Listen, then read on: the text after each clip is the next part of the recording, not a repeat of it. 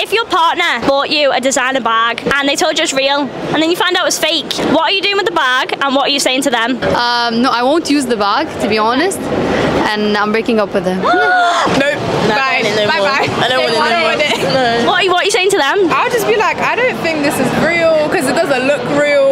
I will hate him because he lied. Yeah, because he lied to. Yeah. No, no lying. no- Yeah, yeah. Just it. be honest. Be honest. Yeah. I'm quite upfront, so I'd be like, what? I would just be like, what's wrong with you? Why are you lying about it? This is like such not a thing to lie about. If it's like OTT, like you know it's fake, like you know that's not a like, designer bag style, Yeah. then maybe you can't get away with that. If you bought me a designer thing, I'll be very happy regardless. Yeah. What Yeah, if it's fake though?